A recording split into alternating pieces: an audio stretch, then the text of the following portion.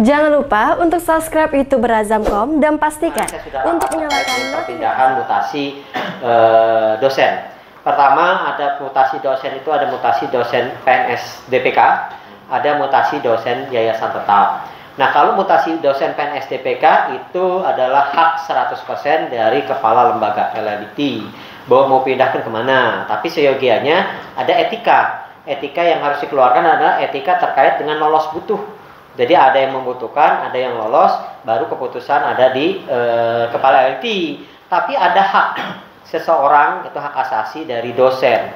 Ketika dia ingin pindah dengan alasan kemanusiaan, merawat ibu, keluarga, dan yang lain-lainnya, itu sakit, kemudian tidak mampu dan yang lainnya ingin pindah eh, atau terkait dan yang lainnya, itu sekali minta izin ke rektornya, Pak Rektor minta izin saya pindah baik-baik, belum nggak direspon, minta dua kali nggak direspon, minta tiga kali nggak direspon, itu adalah haknya LLDT untuk bisa memindahkan. Jadi itu adalah kewenangannya. Jadi tidak ada lagi boleh menuntut tutut dan segala macam karena itu dosen PNS DPK pejabat pembina kepegawaiannya adalah kepala LLDT.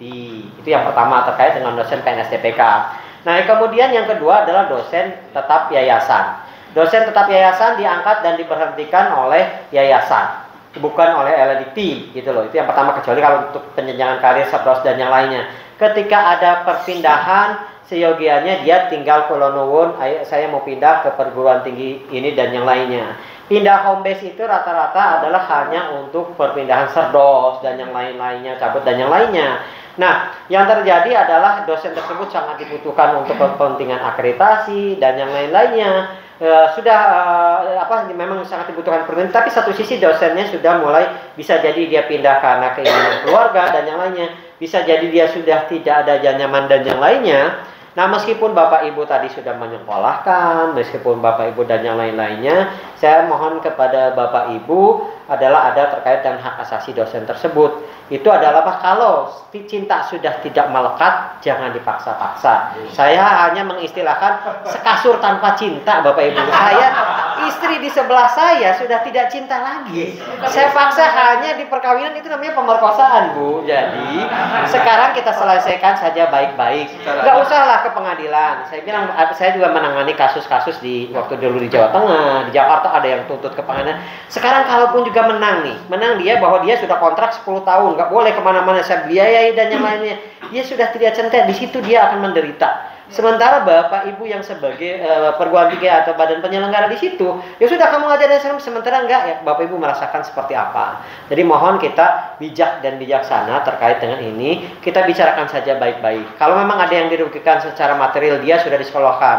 Kemudian ada ini, tolong kembalikan saja uang e, bekas dia sekolahnya. Kemudian kembalikan dan yang lain-lainnya. Nah itulah yang memang kami mohon sekali. Ini kami tidak e, intervensi. Ada kemarin tadi tadi di ABPTSI ada permintaan ini Pak. Banyak dosen PTS lari ke PTN, lari ke PTS lain. Saya cuma sampaikan itu adalah hak asasi seseorang.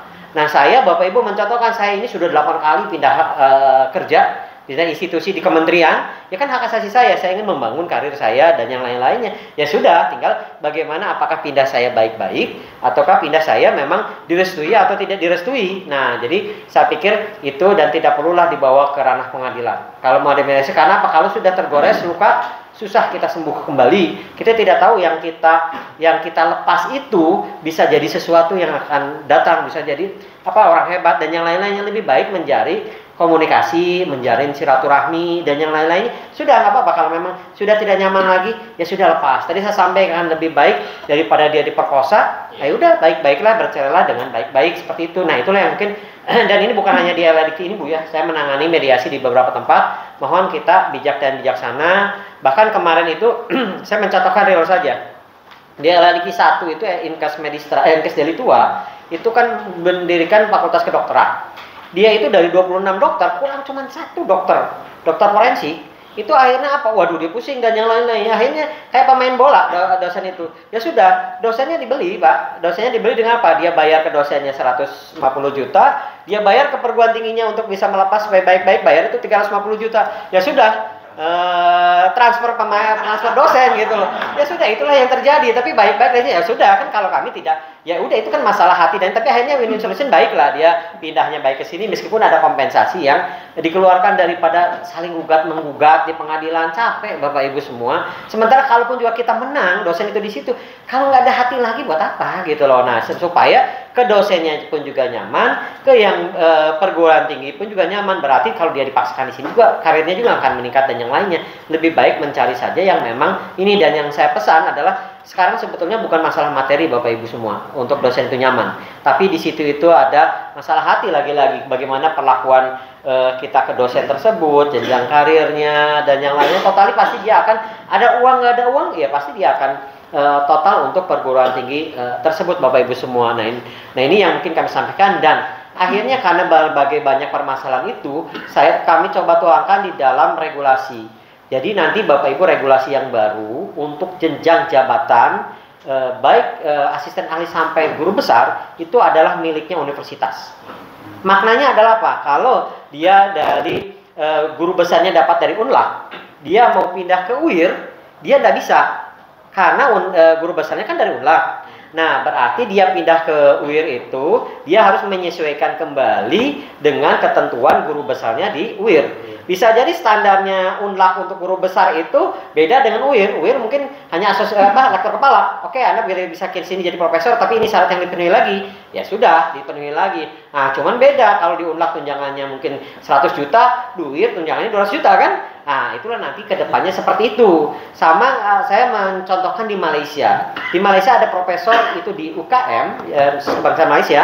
Ketika dia pindah ke UTM, profesornya tidak dibawa profesornya itu adalah dilepaskan ke situ dia melamar kembali ke UTM sebagai profesor berarti melamar sebagai profesor dia asesmen lagi dan yang lainnya sampai profesor udah negosiasi dan yang lainnya gajinya berapa ya sudah tapi dia tidak dibawa nah terkait itu nanti ke depan pemerintah itu tidak akan melekatkan tunjangan dan yang lainnya kepada yang bersangkutan jadi contohnya kalau di Unlak ini ada lima guru besar yang sudah nanti kita formasikan guru besar e, atau profesor dengan serdosnya Ketika dia pindah, maka serdosnya tidak dipindah. Maka serdosnya masih tetap melekat di unla.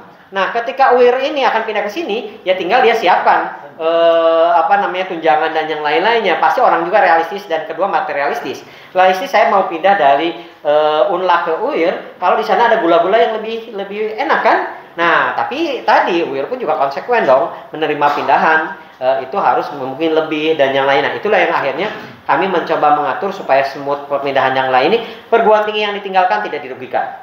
Kemudian perguruan tinggi yang menerima pun juga harus siap dengan konsekuensi e, ketika pindahan. Nah, itulah yang kami sudah atur secara regulasi. Mudah-mudahan itu bisa ini termasuk ya tadi saya sampaikan dari asisten ahli sampai ke guru besar itu nanti tidak lagi di SK-nya tidak lagi di kepala elekti. SK-nya di tangan Bapak Ibu semua. Nah, cuma nanti ada ada ada ada konsekuensinya. Ingat Bapak Ibu, yang namanya jabatan eh, apa profesor itu bukan gelar ya profesor itu adalah jabatan akademik tertinggi jadi seharusnya kalau bapak ibu di saya profesor di umlah setelah pensiun saya nggak boleh lagi dong profesor cuman kan sekarang orang lebih menyebut prof prof itu kan karena menghormati saja gitu loh keilmuannya apa pun tapi secara jabatan dia sudah berhenti e, secara pensiun. Nah ini pun juga sama. Nanti jabatan orang itu di unlak ya udah berhenti di unlak, pindah ke wir, dia harus lagi e, menyesuaikan. Memang nggak mulai dari awal, tapi dengan karir-karir beliau otomatis disetarakan diakui dengan profesor yang ada di UIR. Nah itulah mungkin mudah-mudahan dengan begitu kepindahan seseorang itu bisa smooth.